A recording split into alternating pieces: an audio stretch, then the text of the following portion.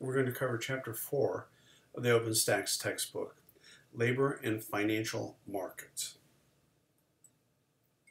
We're, there are three sections in this chapter. We're going to talk about demand and supply at work in labor markets, demand and supply in financial markets, and the market system as an efficient mechanism for information. So people think of demand and supply in relation to goods, but labor markets, such as the nursing profession, also affects can be applied to this. I mean, there's how many people work as nurses, how many jobs there are for nurses, the supply and demand affecting that. It also affects financial, the amount of money available for lending, and the number of customers willing to borrow at various interest rates. So let's start with the labor market first. The supply and demand for labor. The law of demand in labor markets. The higher the wage or price in the labor market, the decrease in the quantity of labor demanded by employers. So here, the firms, like we said in the last chapter, is the demand curve. The lower the salary, the increase in the quantity of labor demanded. Now, the supply now is not producers or firms, it's individuals looking for work. The higher the price for labor, the higher the quantity for labor supplied. Lower the price for labor, the lower the quantity of labor supplied. So the law of supply and demand works here. There's just a little shift in whether it's firms or individuals that are doing the demanding and the supplying.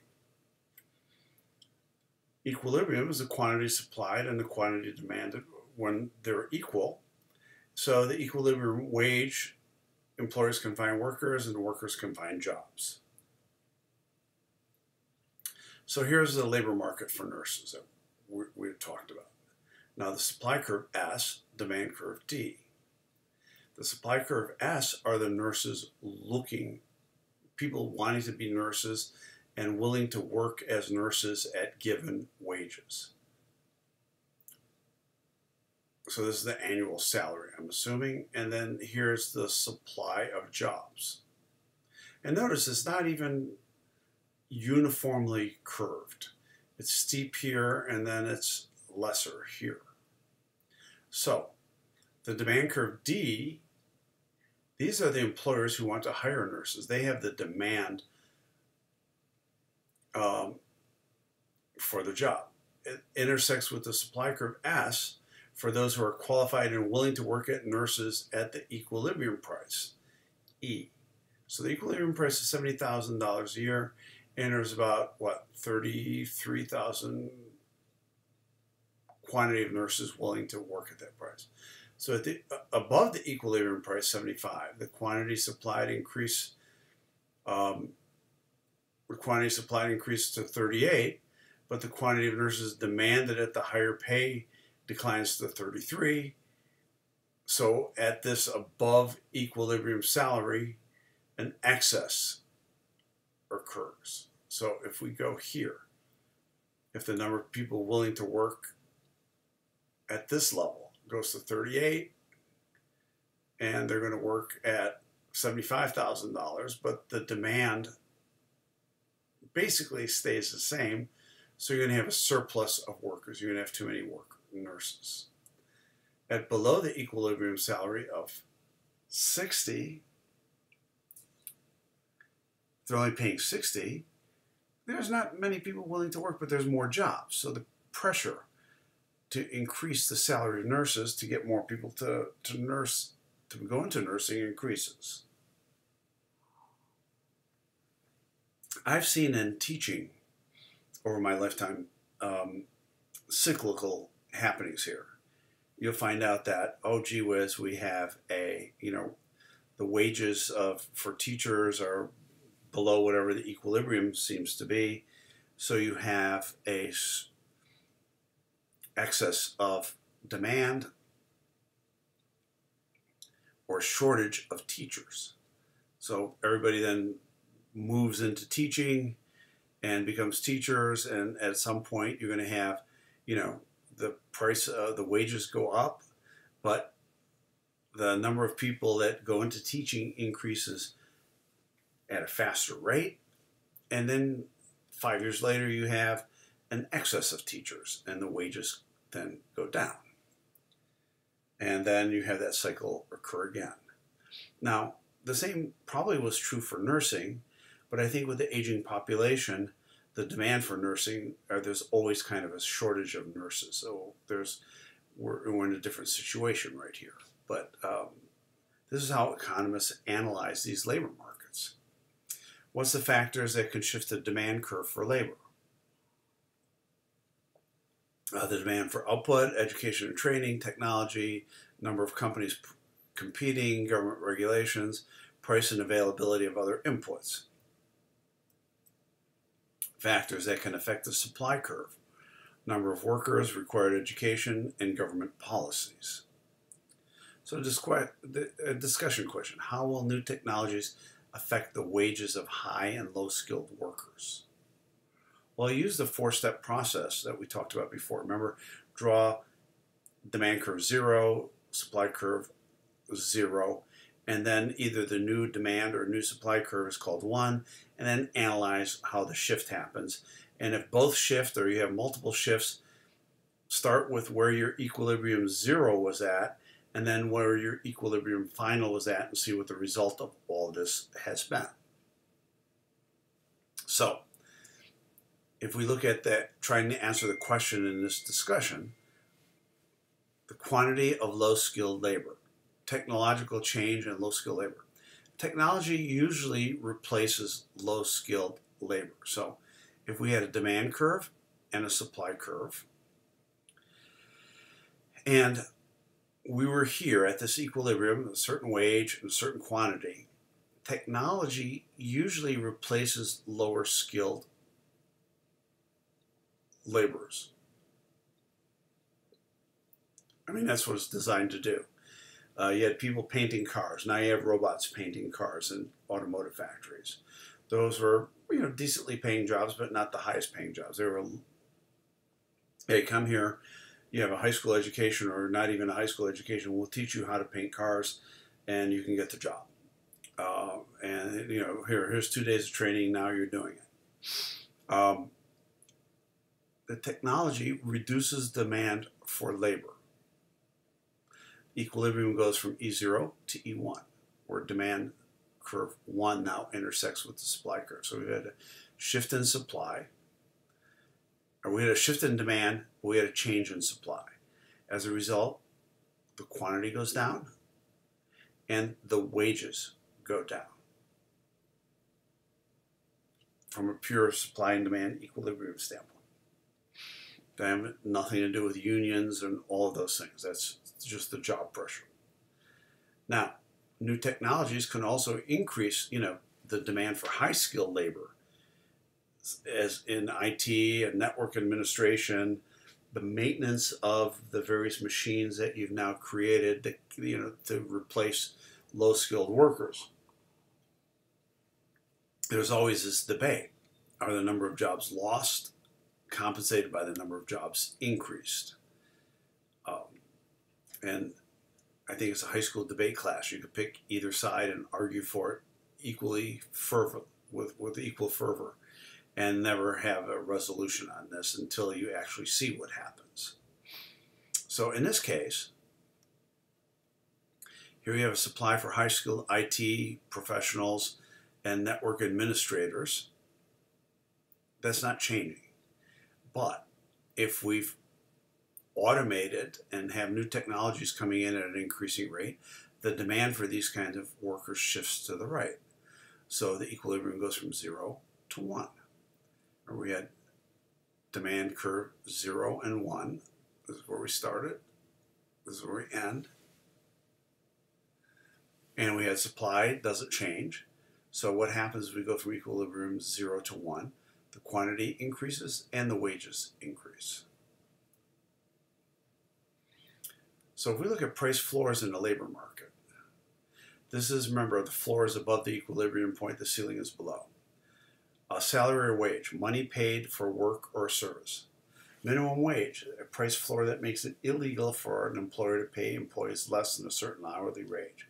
Minimum wage is only meaningful as if it's above the equilibrium point. If it's below, you just let the equilibrium point take over anyway.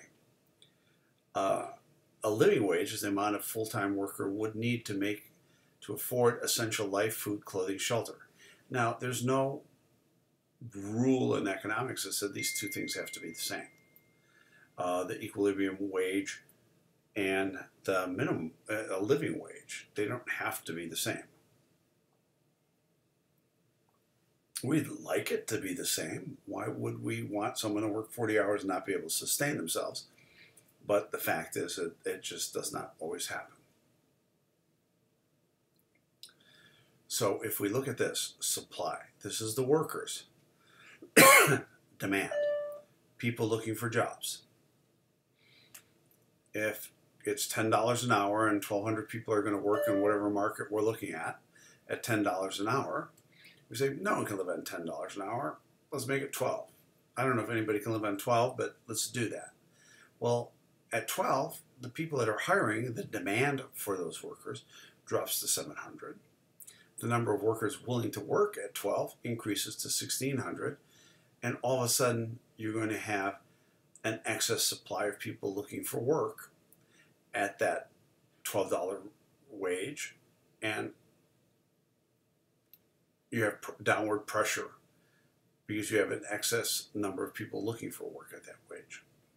Imposing a, a wage floor at 12 feeds an excess supply of labor. At that wage, the quantity of labor supplied is 1,600 and the quantity of labor demanded is only 700. So if we then shift, and let me say a few more words about minimum wage, and we'll have a, a uh, discussion on, on that this week. There's no end to this debate. I don't, I don't think it can be solved. You think with your heart, you think with your economic brain, what model are you using? The model of compassion, where people, if they work 40 hours, should have um, be able to sustain themselves and have a living wage, great. Who can argue with that? I can't argue with that. On the other hand, if you have this phenomena occurring,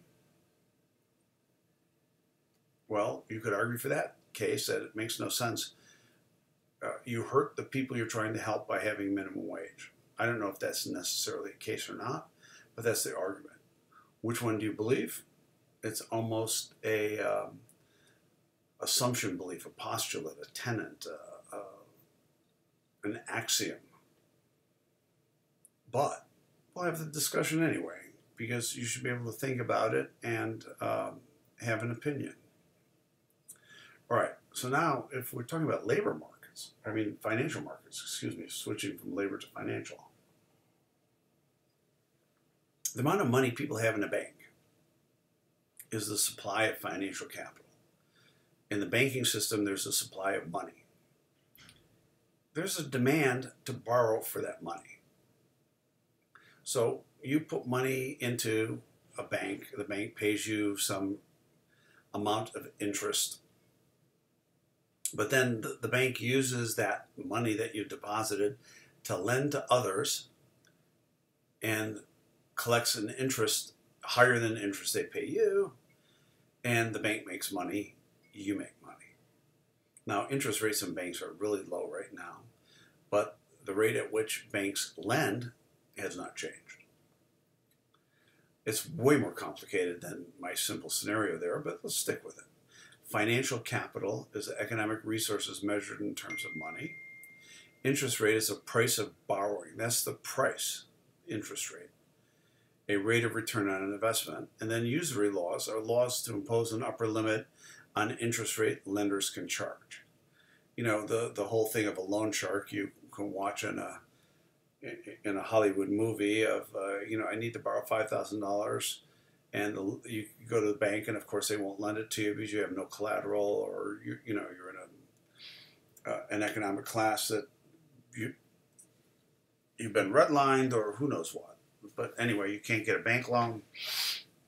And so you go to a loan shark who's willing to give you $5,000, but, you know, let's say a month later, you have to pay him 10000 100% return on his investment. You have nowhere else to go, you do it. And then, you know, the movie plot unfolds that, of course, you can't pay them back the double of the amount.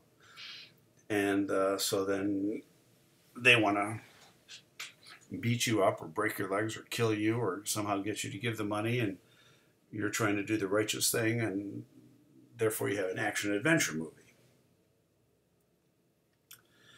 If we look at this, demand and supply for borrowing money with credit cards. Okay, so we have S. And what was the supply again? That's the supply of financial capital, the savings, the, the, the, the money the credit card company has to lend you.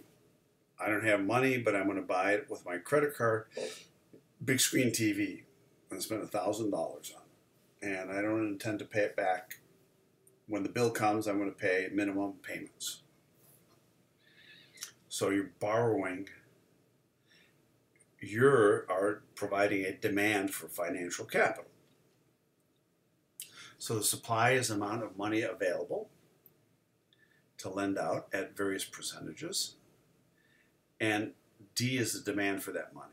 So normally, so in this market for credit card borrowing, the demand curve D for borrowing financial capital intersects the supply curve, the lending of the financial capital at this equilibrium point, 15%, and it's $600 billion available for that. at an above equilibrium interest rate like 21%. And I think if the equilibrium is really 15, banks are normally charging 18 or 20 or something like that, but let's say this is 21%. The financial capital would be 750, but people would want to borrow less. They would want to, the quantity demanded would drop to 480. This is assuming that people know they're actually borrowing at a rate of 21%. I don't think most people know that. At a below equilibrium interest rate like 13, so here you would have an, a surplus of capital available to be borrowed. They're willing to provide much more money at 21%. But below at 13%, many people would like to borrow that to buy their big screen TV, but the financial institutions are willing to offer less because it's below the equilibrium. They don't see the advantage in it for them to do that. I don't think, I think what happens here is a lot of times is people, the borrowers, don't worry about the interest rate. They just know that they have a piece of plastic in their wallet that allows them to go buy something that they don't have the cash to buy themselves and then make the minimum payments and then get screwed because the interest rates are all charged up here. This is, um, you know, when we talk about the economic model, uh, we're assuming people are rational and um, good calculators and worrying about their own self interest. Well, in this case, the self interest of having the big screen TV supersedes the economic knowledge that they may or may not have. So at below equilibrium, we talked about that. Um, another price ceiling example. The original intersection of demand and supply curves occurs at this interest rate are zero and this quantity zero. However, price ceiling is set on interest rate below. And you, you would want to set, if you're the government, you're saying, you know, geez, 21%, 18% on credit card interest seems too high. Let's some, set something below um, the equilibrium point. I mean, it's just more fair. I'd rather have it at 10% than at, uh, if the equilibrium is 15 and banks are charging 7 and there's plenty of money at that, 17% or 18%, and there's plenty of money there, let's pick an interest rate of uh, 10 or 12% and uh, give the people a break. Remember, that's the people that are demanding to make the loan. Well, the demand increases. They're willing to do this Q sub D quantity, but the financial institutions are only willing to supply this much money. So you have an excess in demand or shortage, there's tremendous pressure to raise the interest rates. So there's excess demand, also called a shortage. Now, intertemporal decision making, financial decisions across time, deciding when to consume goods, now or the future. What are examples of intertemporal decision making? Well, this graph shows the demand for financial capital from and a supply of financial capital into the U.S. financial markets by the foreign sector before the increase in, uncertain, in uncertainty regarding U.S. public debt. So this is kind of like a steady state before. The regional the original equilibrium is E0 and the rate of return, the interest rate is R0 and the quantity of financial capital supplied or quantity of financial capital is Q0. Well, what happens next? There is some, what do they call it? Before an increase in uncertainty. So there's some uncertainty in the U.S. public debt market, the amount of public debt that we have. So there's less enthusiasm by foreign investors to give money. The, the entire curve shifts the supply of money that you were counting on for E0, the Q0, and R0 now shifts to the left. At every interest rate,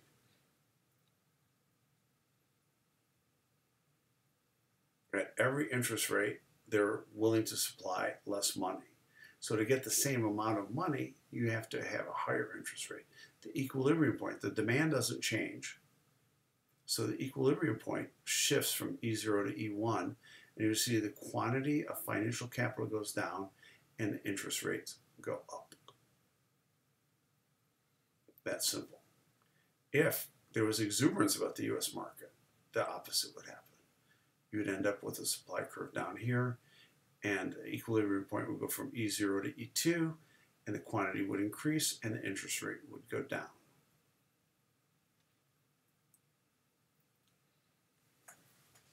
So the market system has an efficient mechanism for information. Demand and supply models. The second fundamental diagram for this course, the first was the budget constraint and opportunity set model. The demand and supply curves explain existing levels of and how economic events will cause changes in prices and quantities. The horizontal axis always shows different measures of quantity, be it a good or service, be it a labor uh, for a given job, or be it a financial, be it financial capital. Normally, we talk about quantity in goods and services, the number of people, the quantity of people willing to do a job at a given price, or in the last case that we looked at, the quantity of financial capital. The vertical axis always shows the price, the price of the good or service, the wage in the marketplace, or the interest rate in the financial market. Changes in demand and supply reveal themselves through consumers' and producers' behaviors. Price controls may deprive everyone in the economy of this critical information. Without this information, it becomes incredibly difficult for buyers and sellers to react to changes occurring throughout the economy. So, the whole point of a market system is to let the markets find their own price, supply, and demand equilibrium and not try to game the system in a sense. So, a generic demand and supply curve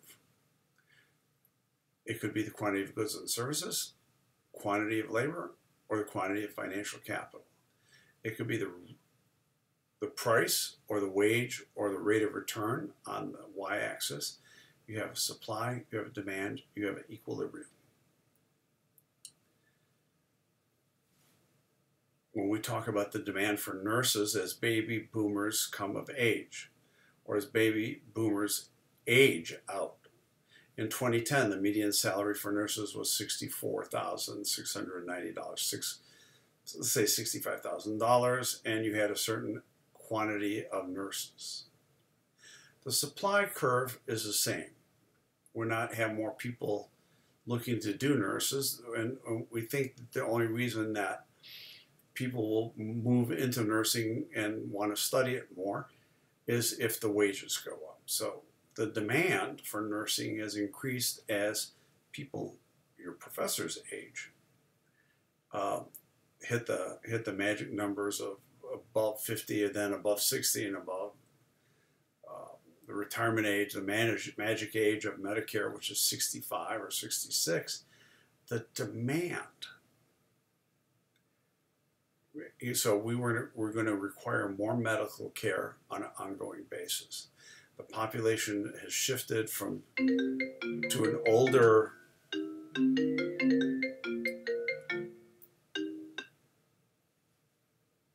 has shifted to an older model and there's less young people. You know the percentage of older people and younger people in the country has has shifted to older people well and people are living longer et cetera et cetera